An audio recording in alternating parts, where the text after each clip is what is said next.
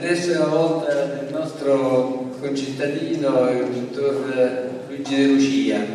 ci parlerà di inquinamento ambientale e, ahimè, delle neoplasie, perché poi questa è la brutta cosa che deriva dall'inquinamento ambientale. Prego, dottore De Lucia. Eh, grazie, buonasera a tutti, un uh, doveroso ringraziamento agli organizzatori per l'invito e a voi per essere intervenuti. Vedo che si vede molto poco. Allora, il, a me è stato appunto affidato l'incarico, il tema di dire, delineare quelle che sono le, eh, dire, possibilità tra l'inquinamento ambientale e lo sviluppo delle neoplasie eh, umane e eh, parto da una diapositiva che è questa nella quale vi faccio vedere quello che è il nuovo codice deontologico del medico che all'articolo quinto sostanzialmente dice due cose, cioè praticamente dice la stessa cosa. Dice che il, il, l'ambiente, il medico deve, è tenuto a considerare l'uomo che vive nella, nell'ambiente e quindi da eh, dire, considerare, eh, fare in modo che le risorse naturali eh, garantiscano eh, dire, la possibilità che l'ambiente venga preservato alle future generazioni e venga eh, reso fruibile per una vivibilità migliore. Questo è quello che noi dovremmo fare, ma la domanda che poi ci poniamo, e stiamo veramente facendo questo, cioè veramente eh, stiamo garantendo la fruizione di un ambiente vivibile alle nostre generazioni future e di conseguenza ai nostri figli, il problema è che eh, questa associazione dei medici dell'ambiente ha stilato un punto, un documento in 10 punti sulla circa diciamo, i danni, i danni alla salute. E sostanzialmente nel decimo punto ha, ha, ha ritenuto di dover sottolineare come chi si interessa di ambiente, chi si interessa di malattia legata all'ambiente dovrebbe non avere un conflitto di interesse. Ma vedete il conflitto di interesse ritorna prepotentemente, quindi non solo in politica ma anche diciamo, nella, nella nostra quotidianità. E, e, questo possiamo vedere in questa uh, valutazione che fu fatta, in questa meta-analisi che fu fatta da Dole e Bito, che sono forse i due più grossi eh, meta, diciamo, ehm, eh,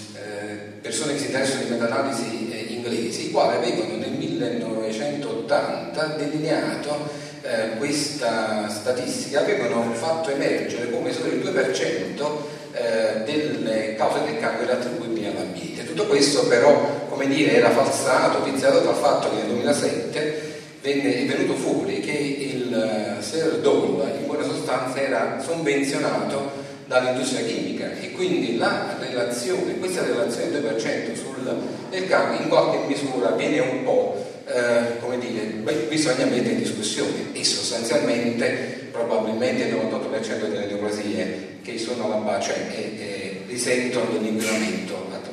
eh, diciamo l'inquinamento ambientale. E, e, quindi da questa considerazione possiamo dire che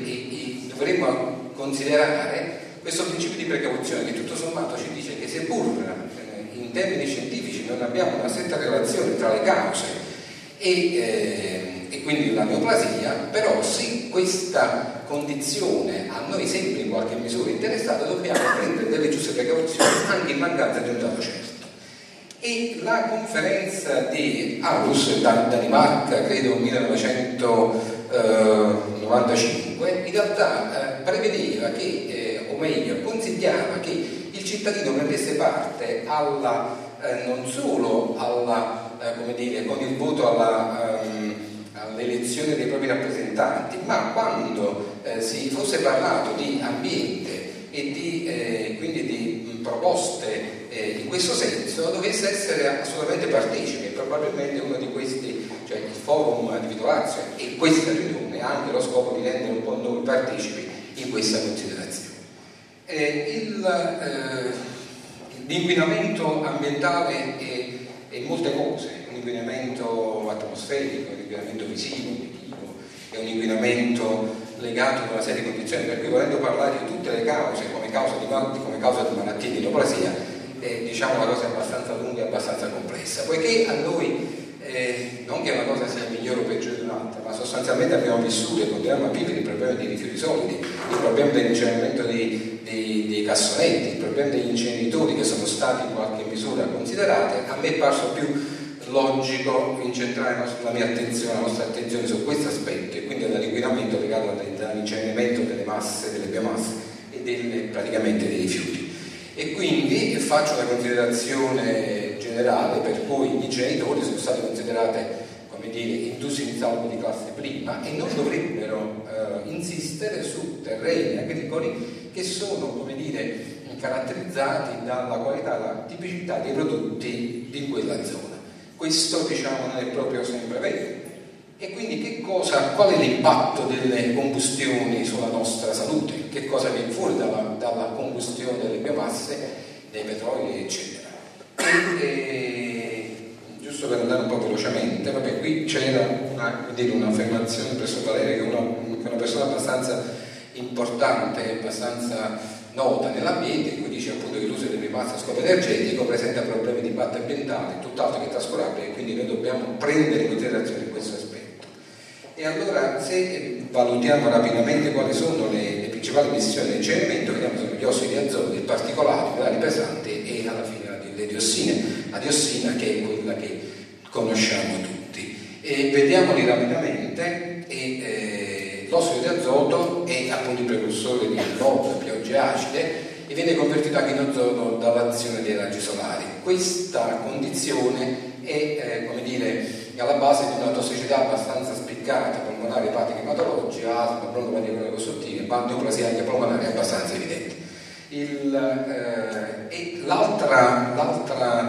un'altra, molecola, un'altra classe di molecole sono i particolari particolari che in, in, diciamo, in natura si trovano, si trovano tranquillamente, sono nelle ceneri vulcaniche, nelle sabbie del deserto, mentre vengono prodotte in modo, dire, nella nostra attività, appunto dalla combustione industriale, biomasse, cementifici e quant'altro. La pericolosità del particolato è legata alla grandezza della molecola, della nanomolecola. Sostanzialmente una molecola dannosa nell'organismo è una molecola che abbia un diametro inferiore ai 10 micron e particolarmente una molecola che abbia un diametro inferiore ai 2,5 micron. E qui c'è, per chi non ricordasse la misura, è un ricordo che faccio a me stesso, un micron un millesimo di millimetro, quindi una lesione di 2,5 mm, una molecola è capace di fare una serie di cose. Qui vi faccio vedere come questa molecola si è inserita, diciamo, normalmente in alcune, tra virus, batteri, globuli rossi, e, e il posto in cui occupa questa molecola è praticamente molto sottile e quindi può essere tranquillamente inalata attraverso l'albero bronchiale, essere, eh, dire, andare in circolo, ma non solo, ma anche ingerita e può essere, eh, come dire, causa, e questa è, una, è dire, un'affermazione in Europa, ci sono 348.000 morti annui per presenza di particolari